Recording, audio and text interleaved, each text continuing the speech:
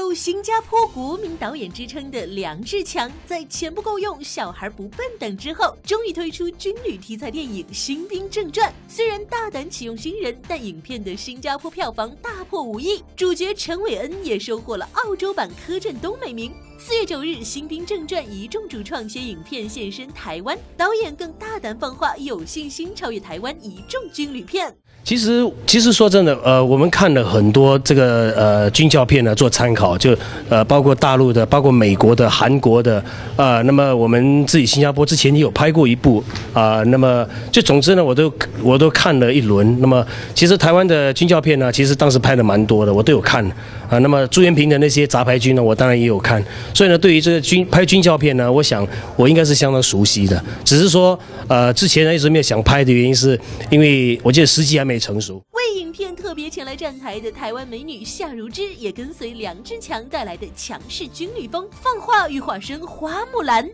我应该不会想要演女军官，我会想要就是演那种就是默默潜入军中，然后是那种女扮男装，然后就大家以为我是男生的女生，就是我不就想要做一些男生做的事情啊，就是不要就是性感或者是什么，但我就是想要去尝试一些就是军营的生活，因为我觉得女生很难有机会可以体验到。